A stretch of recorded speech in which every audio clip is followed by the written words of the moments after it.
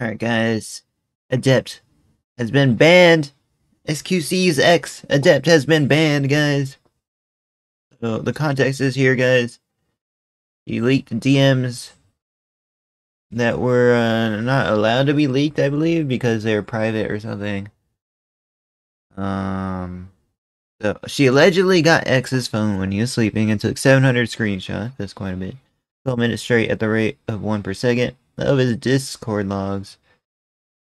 One of the DMs leaked was between him and his mod assistant, male. Through censoring random messages, he tried to make it seem like he was soliciting sex for 10k. S solicitation is a crime in most jurisdictions.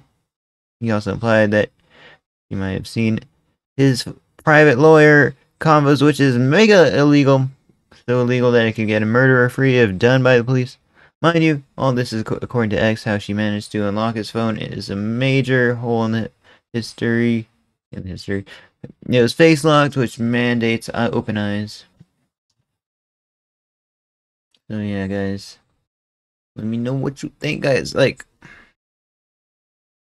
you know, like the the Amber Heard uh, Johnny Depp situation of live streaming. I'm gonna say it it is. I'm not sure if that that that court case involved violence. Hopefully it didn't. Hopefully this one didn't. But yeah, that's what it feels like, bro. Everything goes on live stream fails nowadays, bro. Yeah, she got banned. That's about it. See you guys.